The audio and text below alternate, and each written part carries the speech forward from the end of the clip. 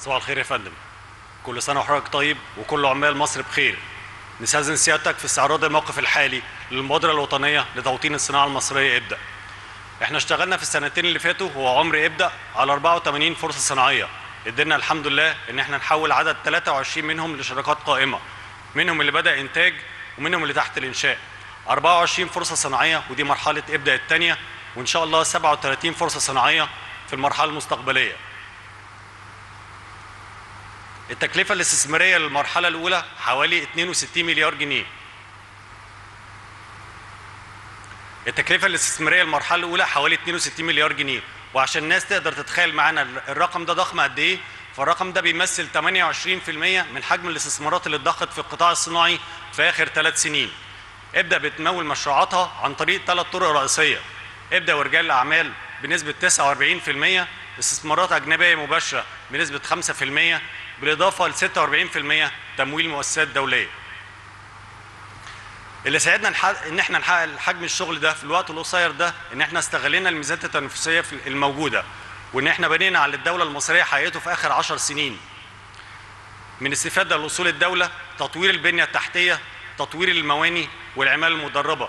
اهتمام ابدأ الشامل ما كانش بس بخط إنتاج ومباني مع أهميتهم بالعكس كان اهتمامنا الشامل بالمنظومة الصناعية بشكل أشمل عشان نقدر نتعامل مع التحديات اللي بتقابلنا مع المصنعين. التحديات التحديات دي مش بالضرورة إجرائية فقط بالعكس التحديات دي كانت عدم مجابهة لآليات السوق. التحديات دي كانت عدم مجابهة لآليات السوق أفكار غير مكتملة تحديات في إدارة المؤسسات الصناعية والتحدي الأكبر دايما وهو التمويل. ابدأ طورت من فلسفتها وفكرنا بره الصندوق وخدنا مجموعة من المشروعات المرحلة الأولى وضخناها في صندوق استثمار مباشر. تشريف سيادتك لينا نستأذن في إطلاق صندوق النيل الصناعي للاستثمار المباشر. أول صندوق صناعي متخصص في الاستثمار الصناعي في مصر واللي هتكون قيمة الإصدار الأول ليه 2.5 مليار جنيه. الصندوق بإذن الله يا فندم هيتم طرحه في البورصة المصرية لضمان شفافية كاملة لكل المستثمرين.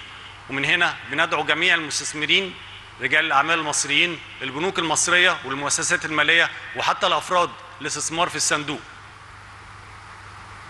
الصندوق هيكون هو حلقة الوصل بين كل الأطراف المعنية لتحقيق عوائد استثمارية.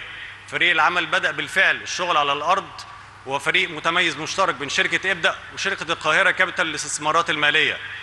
بدأنا استراتيجية الاستثمار بضخ 100 مليون جنيه كحد أدنى في المشروع وحد أقصى 500 مليون جنيه.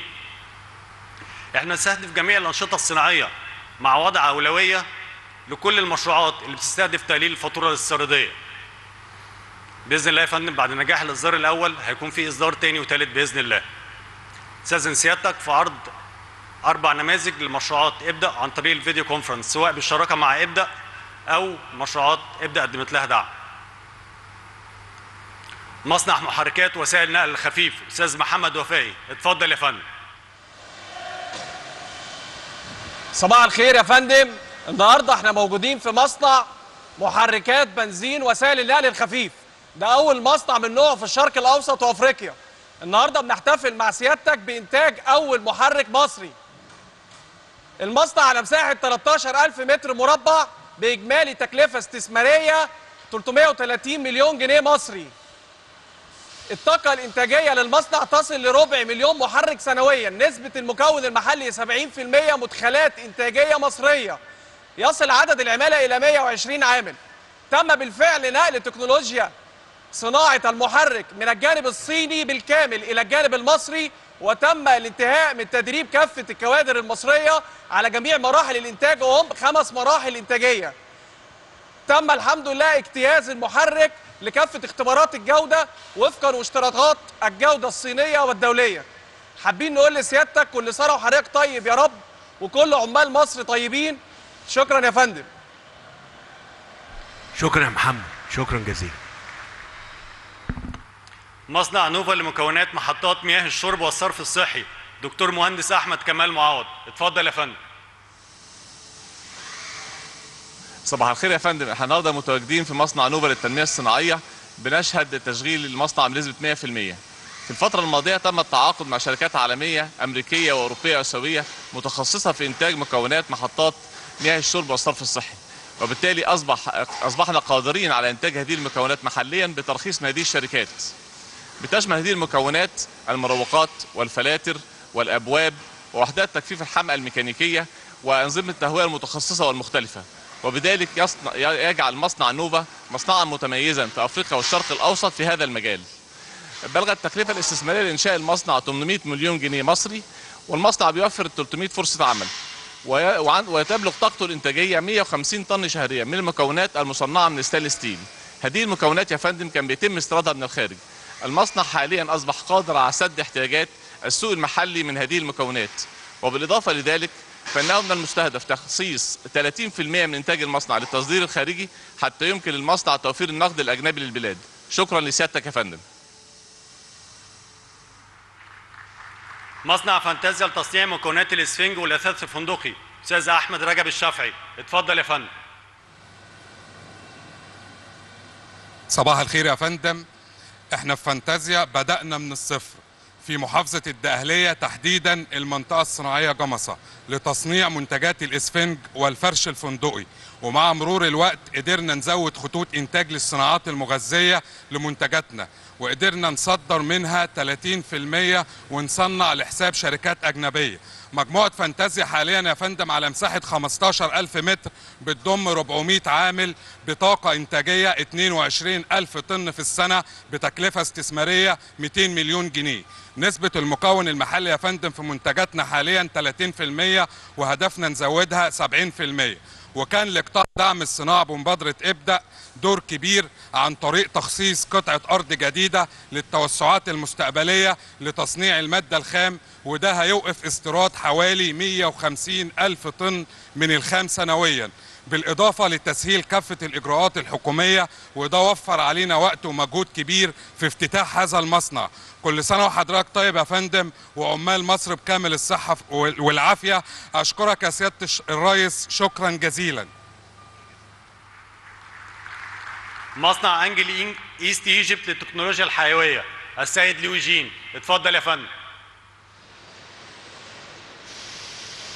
尊敬的阿拉伯埃及共和国总统阿卜杜拉·法塔赫·塞西阁下，尊敬的大使阁下，各位来宾、女士们、先生们，受安琪集团董事长熊涛的委托，今天我非常荣幸的代表安琪酵母埃及有限公司参加此次活动，感谢总统阁下和各位领导对安琪酵母的认可和支持。安琪酵母始创于1986年，总部位于湖北省宜昌市。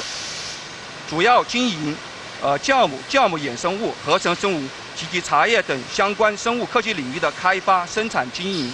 历经三十多年的发展，我们在全球已建设成十六个现代化的生产基地，打造了十二个技术中心，产品供应一百六十多个国家和地区。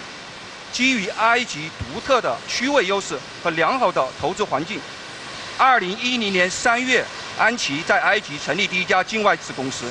我们在开罗和班尼苏耶夫分别设立了技术中心和工厂，其中工厂占地面积十二万平方米，总投资超过二点五亿美元。二零二四年年底，工厂产能将达到六万吨，埃及员工人数将超过一千名，成为埃及在全球规模最大的生产的基地。我们在埃及当地的原料采购比例高达百分之九十。一方面，我们全面满足埃及国内市场酵母的供应，降低进口需求；另一方面，我们依托埃及出口优势开展呃出口贸易。现在我们百分之八十的产能都用于出口。